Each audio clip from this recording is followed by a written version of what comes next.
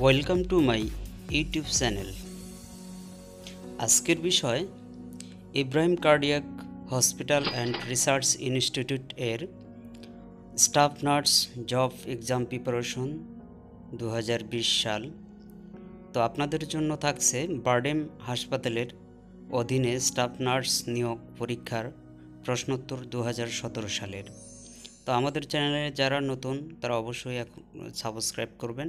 তো দেরি না করে আমরা প্রশ্নে চলে যাচ্ছি, আর এই প্রশ্নে আপনিও পাবেন সুযোগ উত্তর দেওয়ার।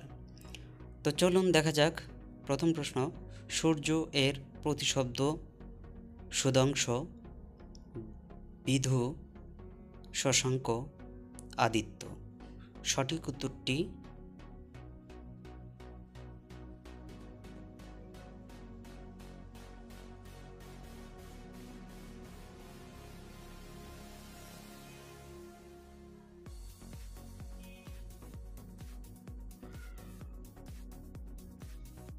আদিত্য। বাক্যের কয়টি অংশ থাকে? একটি, তিনটি, দুইটি, চারটি। সঠিক উত্তর, দুইটি। ঠাকুরমা ঝুলি কার লেখা? সুকুমার রায়, লাল বিহারীতে দীনেশচন্দ্র সেন, দক্ষিণারঞ্জন মিত্র। সঠিক উত্তরটি, দক্ষিণারঞ্জন মিত্র। শরৎচন্দ্র চট্টোপাধ্যায় মহেশ গল্পের প্রধান চরিত্র কে? হানিফ, গফুর, হায়দার, ভক্তপ্রসাদ। সঠিক উত্তর, গফুর। তোমাকে পাবার জন্য হে স্বাধীনতা। এ পঙ্গতিটি কার? উত্তর শামচুর রহমান, সৈয়দ শামচুর রহমান। কবি জসিমউদ্দিন একটি বিখ্যাত কবিতার নাম বিদ্রোহী, কবর, জুতা আবিষ্কার, সাজের বেলা। উত্তর, কবর। বাইশ, বাইশে চারবন কেন স্মরণীয়? কবিগুরু রবীন্দ্রনাথ ঠাকুরের প্রয়াস দিবস, কবি নজরুল ইসলামের মৃত্যু দিবস, কবিগুরু রবীন্দ্রনাথ ঠাকুরের জন্মদিন দিবস কবি জীবনানন্দন দাশের জন্মদিন। সঠিক উত্তর, কবিগুরু রবীন্দ্রনাথ ঠাকুরের প্রয়াস দিবস। হিমু হিমচরিত্রটি কার উপন্যাসের পাওয়া যায়। সঠিক উত্তর,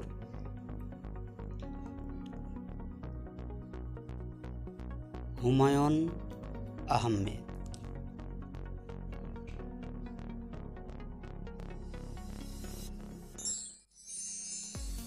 কবি নজরুল ইসলামের কবর কোথায় অবস্থিত?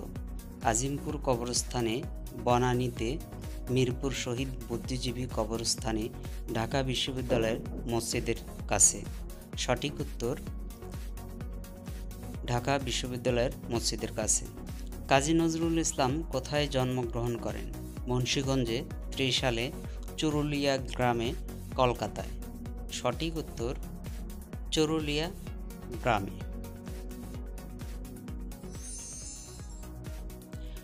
পৃথিবীর বৃহত্তম বদ্বীপ অঞ্চল কোনটি?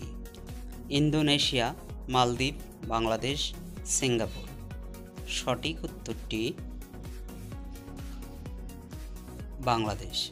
সুষম খাদ্য নির্ভর করে ড্যাশ এর উপরে, রান্নার উপরে, নির্বাচনের উপরে, স্বাদের উপরে, দামের উপরে।